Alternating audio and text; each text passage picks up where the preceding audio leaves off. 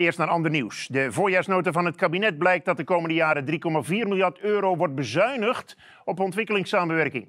Deze bezuiniging raakt de allerarmsten. We hebben nu contact met Haaien Veenstra. Hij is directeur van de organisatie Prisma. Goedenavond, meneer Veenstra. Goedenavond. Ja, hoe groot is die bezuiniging? 3,4 miljard, zei ik, maar blijft het daarbij? Nou, kijk, 3,4 miljard. Moet je je voorstellen wat een immens bedrag dat is.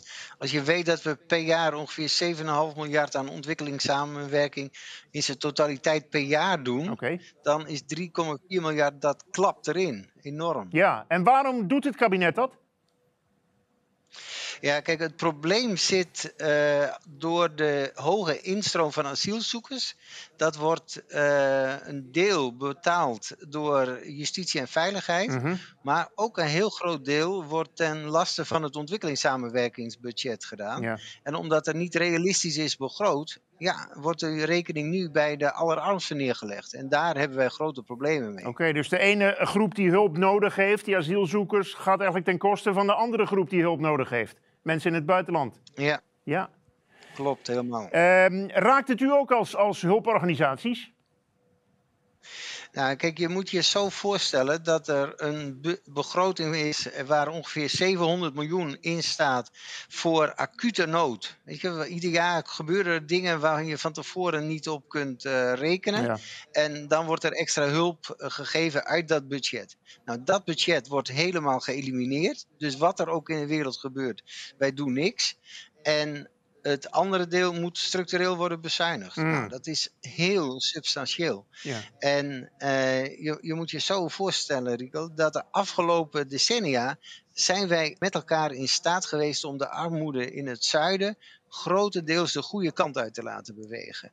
Weet je, de armoede is echt afgenomen wereldwijd. Ja. En nu door corona zie je dat er eh, veel meer druk is gekomen in die landen. En nu komt deze bezuiniging eroverheen. Ja, we doen precies het verkeerde.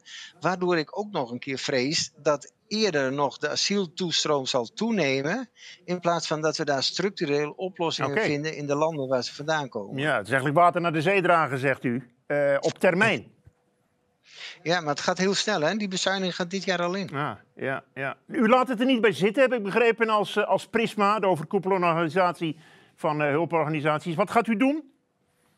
Ja, weet je, wij hebben echt het kabinet opgeroepen om dit onzalige besluit terug te draaien.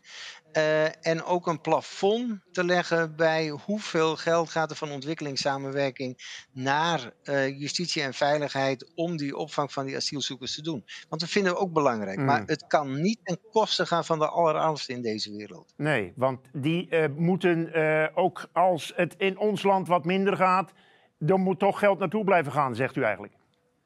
Absoluut. En weet je, dat is ook een investering op termijn. Want op het moment dat je zegt van wij stoppen met ontwikkelingssamenwerking. Ja, wat, wat moet er dan gebeuren? Ja. Dan is het effect uiteindelijk dat we die mensen nog meer impuls geven van ga maar naar Europa, want daar kun je tenminste nog onderdak krijgen. Precies. We gaan het zien hoe het zich ontwikkelt. Dank voor de toelichting, Haaien Veenstra, directeur van Prisma.